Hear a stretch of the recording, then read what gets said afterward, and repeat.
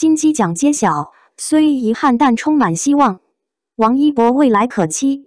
金鸡奖的获奖名单终于揭晓，其中最备受期待的最佳男配角奖项落入了李雪健老师的手中。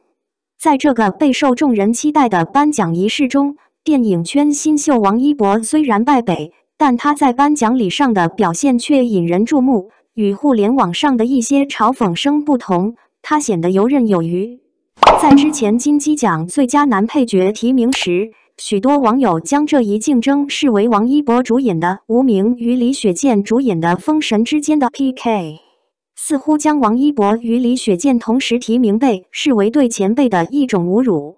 然而，不容忘记的是，二零二三年对于王一博来说是他电影事业的开年之作，粉丝们自然对王一博能够获奖抱有期望，这是理所当然的。因为谁都希望自己喜爱的偶像能够获得更多荣誉，但对于年仅二十六岁的王一博来说，首次涉足电影领域并且获得金鸡奖最佳男配角提名，本身就是对他杰出表现的最大肯定。值得一提的是，他的竞争对手是李雪健老师，不论是从年龄差距还是演技水平来看，他都还有很长的道路要走，来日方长。王一博定会积累属于自己的荣誉，能够在如此年轻的年纪与众多杰出前辈演员一同获得提名，已经是令他感到骄傲的成就了。二零二三年标志着王一博踏入电影领域的第一年，吸引了许多关心他的粉丝跟随他的脚步，深入了解了电影制作方面的知识、导演的风格和拍摄技巧，以及电影屏幕上的独特之处，同时。也因为欣赏了王一博的出色表演，吸引了众多新观众成为他的粉丝。相信王一博会一步一个脚印，慢慢迈向他梦寐以求的成功。尽管他未能凭借电影《无名》获得金鸡奖最佳男配角，但这部电影却获得了金鸡奖最佳剪辑奖。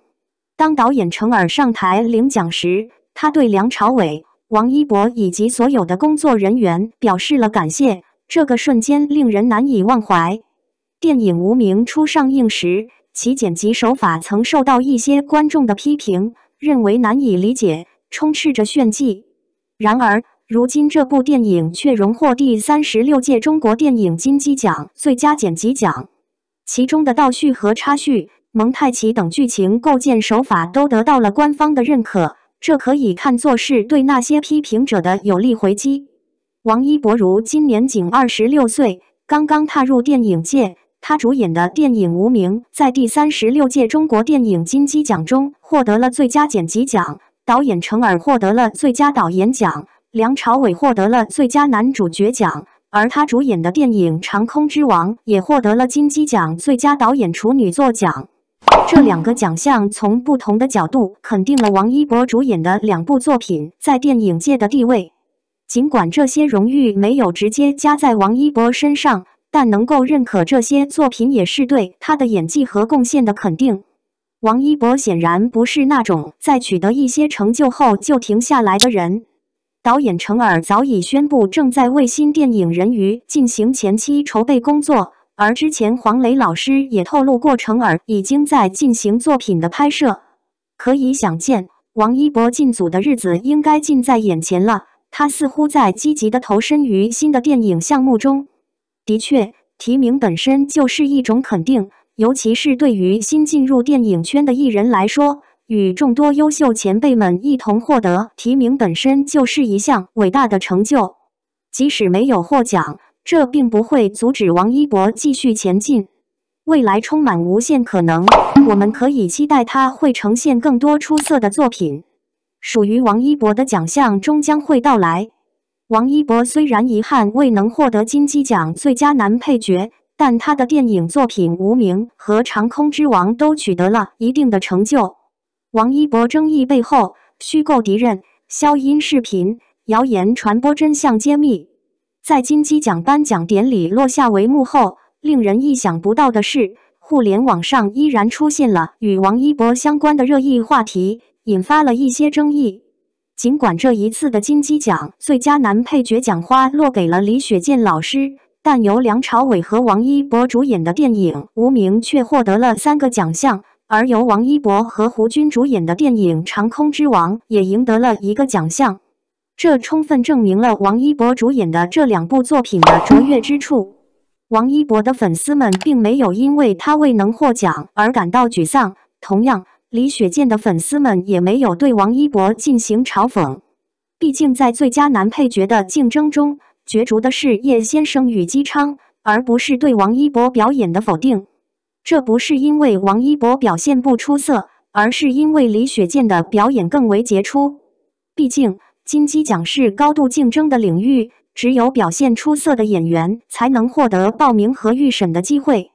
然而，出现了关于“孤立”这个词条的互联网言论，让粉丝们感到困惑。当他们点击进去查看时，他们惊讶地发现，某些人声称在王一博提名的时候，现场寂静无声；而在李雪健提名的时候，现场却欢呼雀跃。似乎在表明王一博的提名并未受到业内认可。然而，事实上，这只是某些人的粉丝对现场视频进行了声音处理。现场有众多观众，必然会有不同的反应。事实上，专家和评审们在每位提名演员的 VCR 播放后，都进行了热烈的掌声和喝彩，以表示对他们的认可。这种声音处理不仅侮辱了王一博，也颠倒了黑白。对在座的所有嘉宾、老师以及同行演员都构成了不公平的诽谤。对于那些散布谣言和污蔑的人，他们可能属于一些持怀旧情感的个体。在电影《长空之王》中，因为与王一博出演同一部作品，某些人可能抱有竞争情绪，幻想自己能够与王一博相媲美。然而，这种恶意炒作不仅毫无根据，而且不符合实际情况。这也值得这些人反思：如果没有其他演员的贡献和努力，他们是否会有同样的曝光和关注度？电影上映前，是否有人注意过他们的名字呢？这是需要思考的问题。实表明一些粉丝可能在争论中有过于主观的看法，过于偏袒自家偶像，导致产生不合理的论断。电影和演员的成功通常是一个合作性的努力。很多人都为电影的成功贡献了自己的一份力量。对于影片《封神》和《长空之王》，每位演员的表现都有其独特之处，不宜将这些成就归功于单一演员或粉丝团体。理性看待演员和电影的成功，更能促进艺术创作和娱乐领域的健康发展。事实常常能揭示真相。这次金鸡奖颁奖典礼上的情况，确实说明了一些不实言论的虚假性。王一博获得最佳男配角提名，并参加了提名者颁奖典礼，甚至在最后的官宣和大合影中都占据了显著位置。与此同时，某些人因未能进入颁奖典礼而坐在后台，这可能导致了一些误解和不实的谣言。这种情况再次强调了重要性。即在争论和评价中，应该基于事实和公平来看待演员和他们的成就。的孤立王一博这种言辞，的确可能是一种过于主观和不负责的观点。金鸡奖是专业人员评选和颁发的奖项，提名和获奖都是基于演员的表现和影片的质量，而不是年龄或其他因素。质疑前辈们是否孤立王一博，并没有充分的根据。也缺乏基本的尊重和专业精神，此类不实的言论可能只会引发不必要的争议和误解，对于整个演艺界和相关演员都没有积极的作用。在争论和评论中，应该以公平和事实为基础，避免诋毁和恶意炒作，这也能够保持对每位演员和前辈的尊重。的确，每位演员都有自己的表演领域和机会，互相比较并不现实。也没有必要。在演艺界，每个人都有自己的定位和机会，应该尊重和欣赏彼此的努力和成就，而不是将其作为竞争对手或敌人。每位演员都在不同的作品中贡献着自己的才华，这是一个多元和多样的领域，应该以互相尊重和鼓励为原则。为何要虚构敌人？为什么要通过消音的视频来诋毁王一博？还说他是 N 番配角，蹭主演的光彩。演艺圈本应该是一个互相尊重和共同成长的领域，每位演员都有自己的机会和发展空间。